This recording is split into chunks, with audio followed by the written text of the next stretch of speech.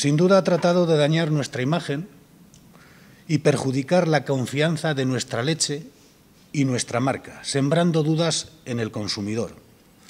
Porque bajo el epígrafe de fraude, que así aparecía en algunos titulares y dicho por algún dirigente agrario, pues se pueden enmascarar muchas realidades. Y queríamos dejar como muy claro que la problemática no tenía nada que ver con la calidad de la leche, que es una leche de gran calidad, sin duda alguna, y sí tenía que ver, ¿eh? como luego aparecía, por un tema de, etiquetado que podía inducir a error al consumidor. Toda esta campaña nosotros la hemos tenido que ir contrarrestando ¿eh?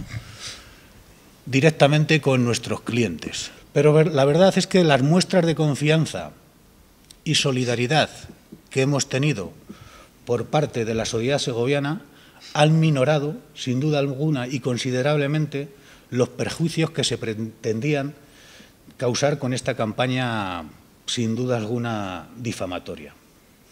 Es por todo esto por lo que nos vemos obligados a presentar esta, querella. Por, porque es una resolución la que dicta la, la buena mujer esta, la viceconsejera, cargo político a dedo, claro está, es una resolución, eh, si se me permite, grosera, o sea, de, burda que es, ¿no? Les decía yo tomando el café a, los compañeros que a mí me parece una, una, resolución casi infantil, es decir, de torpe, de torpe, de lo mal que hacen las cosas, ¿no?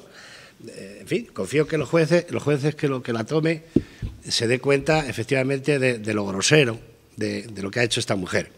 Entendemos con este ataque por parte de la Consejería no solo se daña una cooperativa, sino que se daña directamente a toda la organización de Unión de Campesinos. Se daña directamente a una organización agraria que defiende a los agricultores y ganaderos a título principal y seguirá defendiéndolos, aunque a muchos esto les moleste.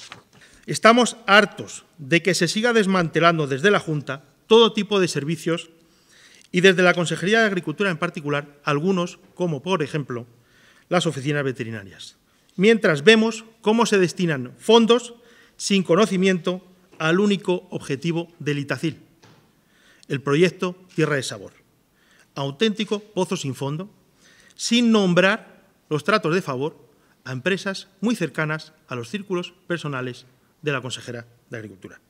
O, por ejemplo, nos venden nuevos proyectos, como el ADE Rural, Agencia de Desarrollo Empresarial Rural, en los que, por cierto, la Diputación de Segovia no ha dudado en colocar como trabajador a un hermano de la citada consejera. Algo que levanta muchas sospechas en lo que a tráfico de influencias se refiere.